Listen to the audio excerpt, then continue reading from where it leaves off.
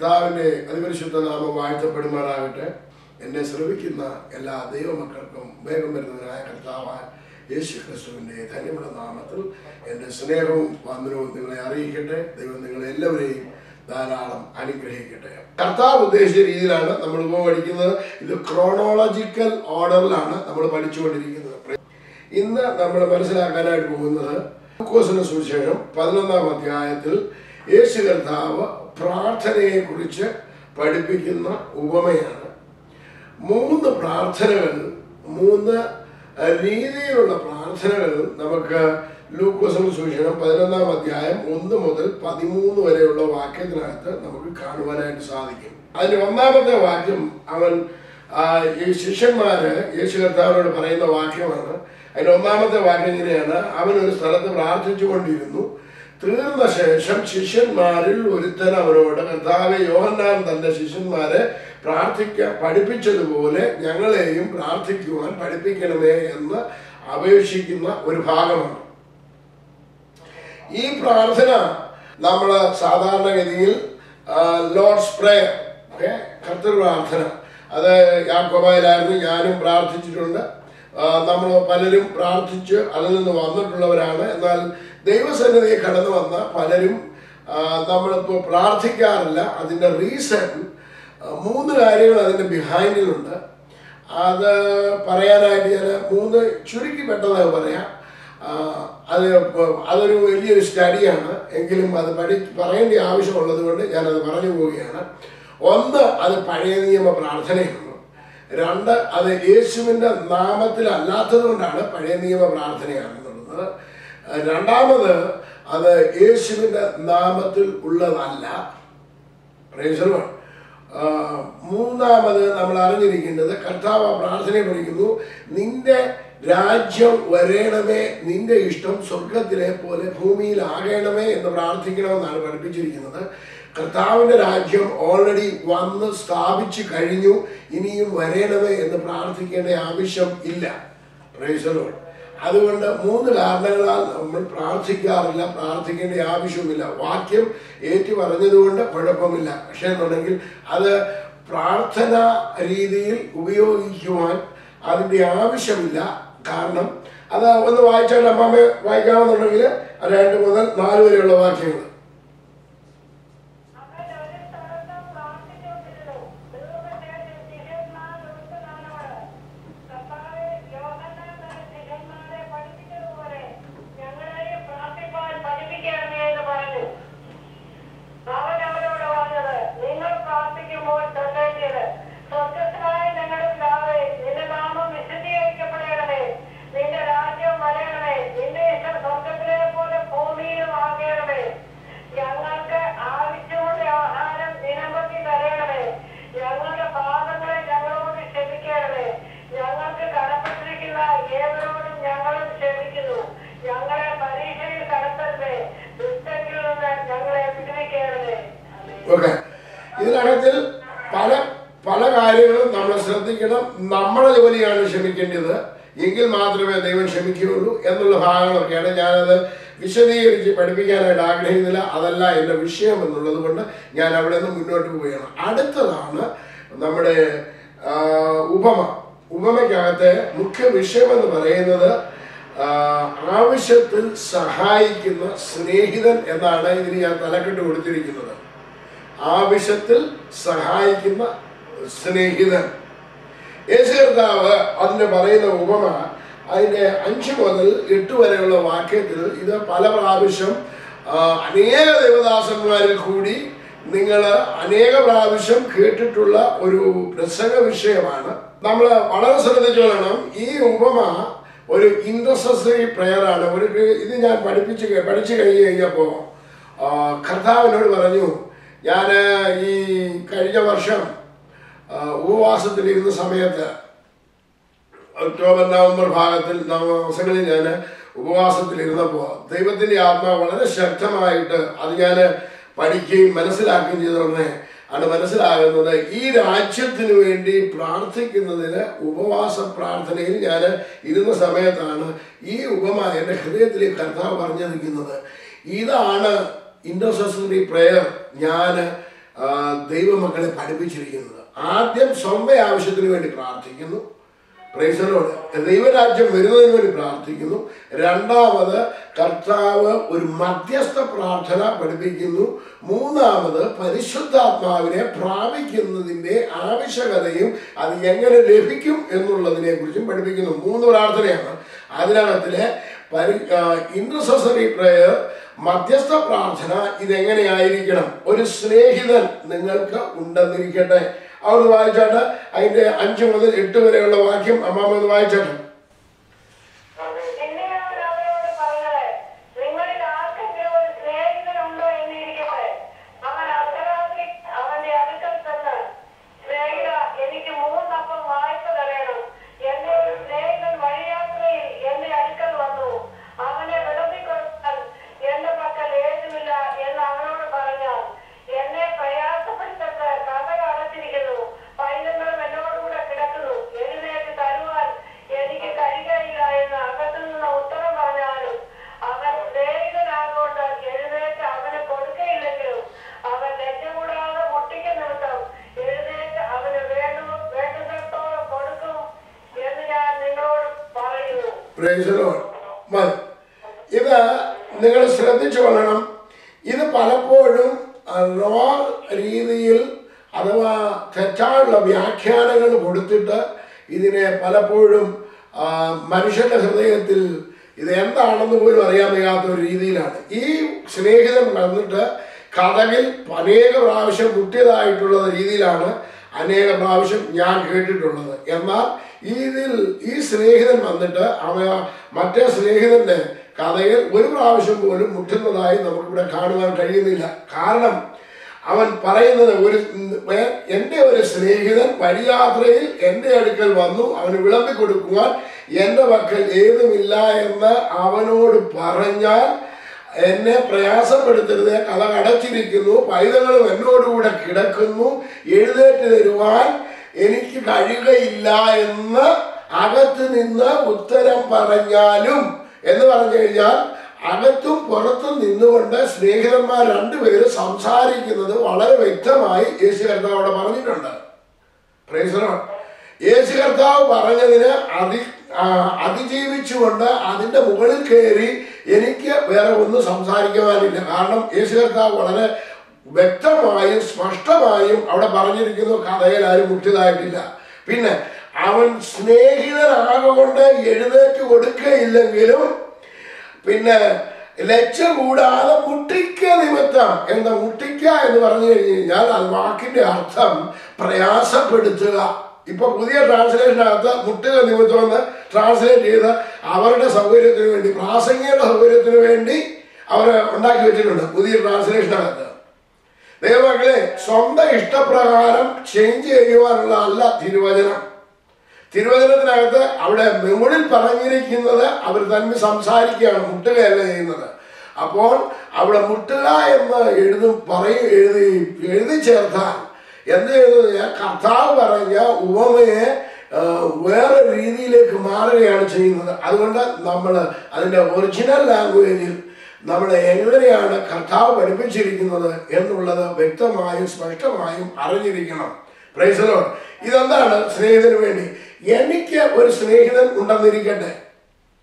അത് ഇപ്പൊ നിങ്ങൾ ആരെങ്കിലും ഇപ്പൊ ബാബു ബ്രദർ ന്യൂജേഴ്സിയിൽ നിന്ന് അല്ലെന്നുണ്ടെങ്കിൽ പാസ് ജേക്കബ് ജോർജ് ന്യൂയോർക്കിൽ നിന്നും ഡാളസിലേക്ക് വരുന്നു എന്നിരിക്കട്ടെ.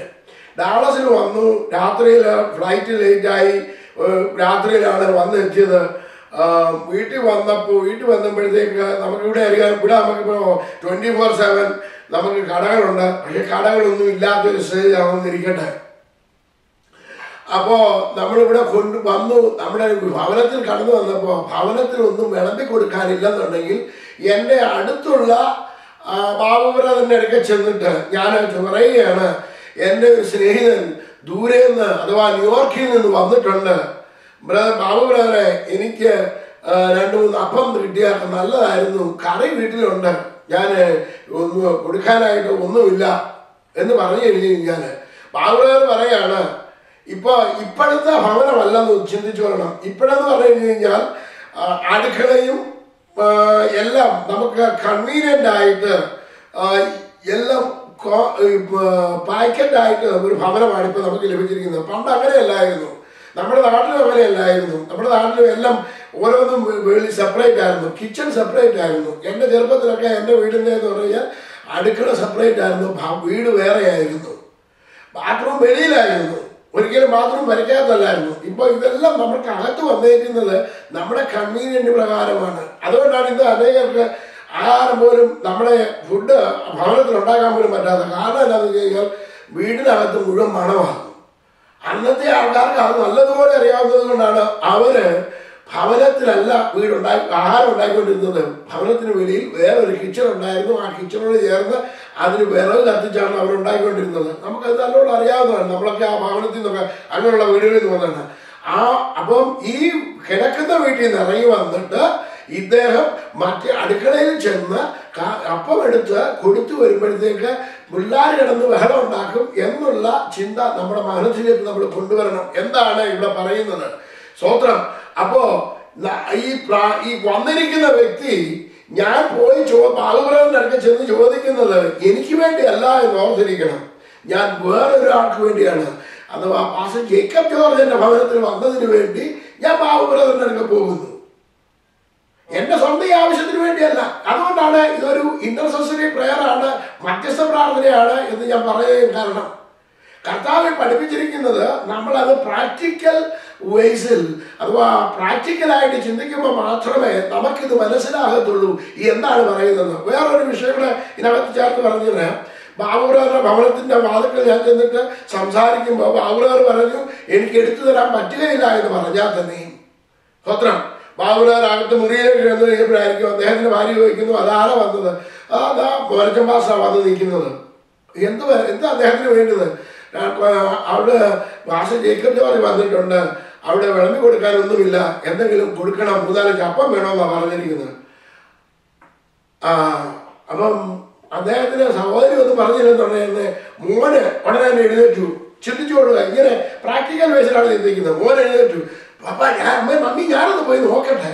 ചെന്ന് എല്ലാം കൂടെ നോക്കി. നോക്കിയോണ്ട് അവിടെ നിൽപ്പുണ്ട്. ഓടി കുഞ്ഞങ്ങോട്ട് വന്നിട്ട് പറഞ്ഞു യോ മമ്മി അങ്കിൾ അപ്പുറത്ത് നിപ്പുണ്ട് എന്ന് പറഞ്ഞു. ഉടനെ തന്നെ മോൾ എഴുന്നേറ്റു. ഞാനിവിടെ പോയി നോക്കി വരട്ടെ. ഇതാ കുഞ്ഞുങ്ങൾ സാധാരണ ചെയ്യുന്ന കാര്യം ആരും പറയുന്നത് മമ്മി വേണ്ട അങ്കിൾ അവിടെ നിപ്പുണ്ട്. ഈ കുഞ്ഞുങ്ങളെ പറഞ്ഞു പറഞ്ഞു. ഇനി നോക്കിയേ ഈ കുഞ്ഞിന് ഉറങ്ങാൻ പറ്റുമോ? കുഞ്ഞുങ്ങൾക്ക് ഉറങ്ങാൻ പറ്റുമോ? സഹോദരിക്ക് ഉറങ്ങാൻ പറ്റുമോ? ബാബുറവറിന് ഉറങ്ങാൻ പറ്റുമോ? ആർക്കും ഉറങ്ങാൻ പറ്റത്തില്ല. അവരുടെ ഉള്ളിൽ ഒന്നാണ് ഇപ്പൊ ബുദ്ധിമുട്ടാണ്. അവർ ലജ്ജ കൂടാതെ മുട്ടിക്ക നിമിത്തം ഞാൻ അവിടെ നിൽക്കുന്നിടത്തോളം കാലം ബാബുപുരത്തിനാകട്ടെ ബാബുപുരന്റെ കുടുംബത്തിനാകട്ടെ ആർക്കും അവിടെ കിടന്നുറങ്ങുവാൻ പറ്റത്തില്ല. പ്രൈതലോട് ഇതാണ് കഥ പറഞ്ഞിരിക്കുന്നത്. അപ്പോ കഥ പറഞ്ഞിരിക്കുന്നത് ഒരു സ്നേഹിതൻ നിങ്ങൾക്ക് ഉണ്ടെന്ന് ഇരിക്കട്ടെ. ഇനി നമ്മൾ വായിക്കുന്നുണ്ട് നമുക്ക് വളരെ വ്യക്തമായിട്ട് മനസ്സിലാകും. ഓക്കെ അതിനകത്തിൽ നോക്കണം. പിന്നെ അവൻ അവരോട് പറഞ്ഞത് നിങ്ങൾക്ക് ആർക്കെങ്കിലും ഒരു സ്നേഹിതൻ ഉണ്ടെന്നിരിക്കട്ടെ പ്രൈസലോട്. ആർക്കെങ്കിലും ഒരു അവൻ അർദ്ധരാത്രിക്ക് അവന്റെ അടുക്കൽ ചെന്ന് സ്നേഹിത എനിക്ക് ഒരു മൂന്നപ്പം തരേണം. എൻ ഒരു എന്റെ ഒരു സ്നേഹിതൻ വഴിയാത്രയിൽ എന്റെ അടുക്കൽ വന്നു. അവന് വിളമ്പി കൊടുക്കുവാൻ എന്റെ പക്കൽ ഏതുമില്ല എന്ന് അവനോട് പറഞ്ഞ Praise എന്നെ പ്രയാസപ്പെടുത്തരുത് കഥ അടച്ചിരിക്കുന്നു പൈതകളും എന്നോടുകൂടെ കിടക്കുന്നു. എഴുന്നേറ്റ് എനിക്ക് തരുവാൻ കഴിയുകയില്ല എന്ന് അകത്ത് നിന്ന് ഉത്തരം പറഞ്ഞാലും അവൻ സ്നേഹിതനായതുകൊണ്ട് അവൻ സ്നേഹിതനാകൊണ്ട് എഴുന്നേറ്റ് കൊടുക്കയില്ലെങ്കിലും ലജ്ജ കൂടാതെ മുട്ടിക്ക നിമിത്തം എഴുന്നേറ്റ് കൊടുക്കും എന്ന് വേണ്ടുവോളം അവന് വേണ്ടുവോളം. പ്രൈസറോട് അപ്പൊ ഇനി ഈ സ്നേഹിതൻ സ്നേഹിതന് വേണ്ടി വേണ്ടുവോളം എഴുന്നേറ്റ് കൊടുക്കുമെന്നുണ്ടെങ്കിൽ എന്റെയും നിന്റെയും കർത്താവ് എത്ര അധികം തരും? അതാണ് കർത്താവ് പറഞ്ഞിരിക്കുന്നത്. നമ്മൾ മറ്റുള്ളവർക്ക് വേണ്ടി പ്രാർത്ഥിക്കുമ്പോൾ നമ്മൾ ഈ രാജ്യത്തിന് വേണ്ടി പ്രാർത്ഥിക്കുമ്പോൾ ഈ ദേശത്തിന് വേണ്ടി പ്രാർത്ഥിക്കുമ്പോൾ ദൈവമക്കളെ നമുക്കുള്ളവർക്ക് വേണ്ടി പ്രാർത്ഥിക്കുമ്പോൾ നമ്മുടെ കർത്താവ് അവർക്ക് വേണ്ടി മാത്രമല്ല നമുക്കൂടെ ആവശ്യത്തിന് വേണ്ടി തരും എന്നുള്ള ഒരു കാര്യം നമ്മൾ മറന്നു പോകരുത്. പലപ്പോഴും നമ്മൾ ചിന്തിക്കാറുണ്ട് യോബിന്റെ സ്നേഹിതന്മാർക്ക് വേണ്ടി യോബ് പ്രാർത്ഥിച്ചു കർത്താവ് യോബിനെ അനുഗ്രഹിച്ചു എന്ന് നമ്മൾ ഉദാഹരണമായി പറയാറുണ്ട്. ഇല്ലേ? പറയാറില്ലേ? പ്രസിഡന്റ് കേൾക്കാറുണ്ട്. എന്നാൽ അത് ഉപരിയായിട്ട് എന്റെ കർത്താവ് പറയുകയാണ് നിന്റെ സ്നേഹിതന് വേണ്ടി നീ പ്രാർത്ഥിക്കുമ്പോൾ ഞാൻ എത്ര അധികം നിനക്ക് വേണ്ടി ചെയ്തു തരും.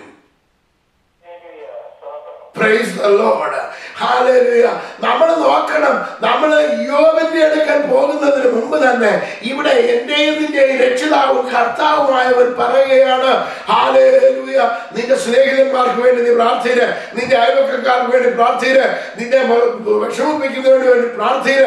ദുഃഖിപ്പിക്കുന്നവർക്ക് വേണ്ടി പ്രാർത്ഥിര്. ശത്രു വേണ്ടി പ്രാർത്ഥിര്. ഹാലേലൂയ ദേശത്തിന് വേണ്ടി പ്രാർത്ഥിക്ക്. ഞാൻ നിനക്ക് വേണ്ടി പ്രവർത്തിക്കുക തന്നെ ചെയ്യും. ശത്രുവിന്റെ കാര്യത്തിലല്ല. അല്ല സ്നേഹിതന്റെ കരത്തിലാണ് കൊടുക്കുന്നത്.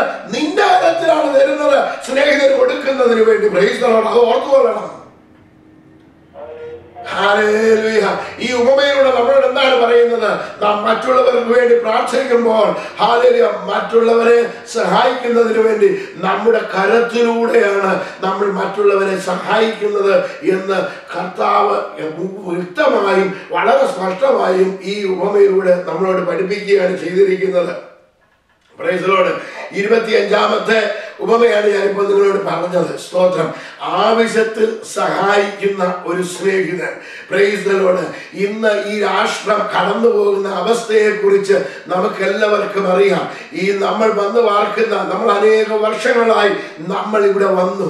ഹാലേലുയ നമുക്ക് നമുക്ക് ധരിപ്പാൻ വസ്ത്രവും പാർപ്പാൻ നല്ല ഭവനവും ജോലി ചെയ്യുവാൻ നല്ല ജോലിയും ഹാലേലിയ സഞ്ചരിക്കുവാൻ വാഹനങ്ങളും എല്ലാം ഈ രാഷ്ട്രത്തിന്റെ ആലയം നന്മ അനുഭവിക്കുവാൻ ദൈവവൈദ്യരെ നമ്മളെ ദൈവം സഹായിച്ചു. ഈ രാജ്യത്തിന്റെ നന്മ അനുഭവിച്ചുകൊണ്ടിരിക്കുന്ന നാം ഓരോരുത്തരും ബാധ്യസ്ഥരാണ്. ഈ രാജ്യത്തിന്റെ നന്മയ്ക്ക് വേണ്ടി അഭിവൃദ്ധിക്ക് വേണ്ടി ഈ രാജ്യത്തിന്റെ മക്കളാരും നഷ്ടപ്പെടാതെ അവർക്ക് വേണ്ടി പ്രാർത്ഥിക്കേണ്ട ചുമതല നമുക്കുള്ളതാണ്. ഞാൻ വ്യക്തമായി പറയട്ടെ സ്തോത്രം. ഈ രാജ്യത്തിന്റെ ജനിക്കുന്ന ഓരോ കുഞ്ഞുങ്ങളും അവർ ഏത് കളറുള്ളവരായിക്കൊള്ളട്ടെ ഞാൻ പറയട്ടെ അവർ നശിച്ചാൽ അത് നമ്മുടെ കുഞ്ഞുങ്ങളുടെ നാശമാണ്. പ്രൈസലോട് അവരുടെ നാശം നമ്മുടെ കുഞ്ഞുങ്ങളുടെ നാശമാണ്. കാരണം നമ്മുടെ തലമുറ ഈ തലമുറയിലാണ് ജീവിക്കുന്നത്. ഈ തലമുറയിൽ നമ്മുടെ തലമുറ ആളുകൾ ജീവിക്കണം. ജീവിക്കേണ്ടതാണ്. അവർക്ക് അഭിവൃദ്ധി ഉണ്ടാകണമെന്നുണ്ടെങ്കിൽ അവരുടെ തലമുറ അഭിവൃദ്ധിയിലേക്ക് വരണം. അവരുടെ തലമുറ നശിച്ചതാണെന്നുണ്ടെങ്കിൽ നമ്മുടെ തലമുറയെ നമ്മൾ എത്ര പ്രാർത്ഥിച്ച് പിടിച്ചു നിർത്തുവാൻ എത്ര ബൈബിൾ പഠിപ്പിച്ച് പിടിച്ചു നിർത്താൻ നോക്കിയാലും അത് നിൽക്കുവാൻ പ്രയാസമാണ്. കാരണം എന്താണെന്നറിയാമോ? അവരുടെ അറ്റ്മോസ്ഫിയർ അങ്ങനെയുള്ളതാണ്. അതുകൊണ്ട് നാം ഹാലേലിയ ദൈവമക്കളെ ഈ കർത്താവ് നമ്മളോട് പറയുന്നത് എന്താണ്? ഈ രാജ്യത്തിന്റെ നിലനിൽപ്പിന് വേണ്ടി ഹാലേലിയ നമ്മൾ പാർക്കുന്ന ഓരോ നമ്മുടെ കുഞ്ഞുങ്ങളെ പോകുന്ന ഓരോ സ്കൂളിന്റെയും എന്നോട് ഞാനിപ്പോ കഴിഞ്ഞ ഏകദേശം ഒന്നര രണ്ട് വർഷത്തോളമായി. രണ്ട് വർഷമായെന്ന് തോന്നുന്നത് എനിക്കറിയത്തില്ല ഞാൻ ഓർക്കുന്നില്ല. ഹാലലുയ സ്തോത്രം. ഈ ഓരോ സ്കൂളുകളുടെ ഒരു വർഷത്തോളമായി ഓരോ സ്കൂളുകളുടെയും മുന്നിൽ elementary school middle school high school college പ്രൈസലോട് മിക്കവാറുമുള്ള സാമുദായിക ചർച്ചകൾ ഇതിനെല്ലാം മുന്നേ പോയി നിന്ന് പ്രാർത്ഥിക്കാറുണ്ട്. കഴിഞ്ഞ ദിവസങ്ങളിൽ കർത്താവിനോട് പറഞ്ഞു ഈ ഒരു സ്കൂളിന്റെ മുന്നേ നിൽക്കുന്നുണ്ട് സകല സ്കൂളുകളെയും ഓർത്ത് പ്രാർത്ഥിക്കുവാൻ. ഒരു ചർച്ചയുടെ മുന്നേ നീങ്ങുമ്പോൾ എല്ലാ ചർച്ചകളെയും ഓർത്ത് പ്രാർത്ഥിക്കുവാൻ. ഞാൻ അവരെ ചുറ്റി നടന്ന് പ്രാർത്ഥിക്കാറുണ്ട്. എന്റെ കാലിൽ ഗാർലൻഡ് ഏറിയാലും മസ്കീറ്റ് റോളറ്റ് ഏറിയാലുമുള്ള ഡാളസ് ഏറിയാലുമുള്ള കുറച്ച് ഏറിയ സ്ഥലങ്ങളിൽ പോയി പ്രാർത്ഥിക്കാറുണ്ട്. കാരണം എന്റെ ലിമിറ്റേഷൻ അനുസരിച്ച് ഞാൻ പ്രാർത്ഥിക്കാറുണ്ട്.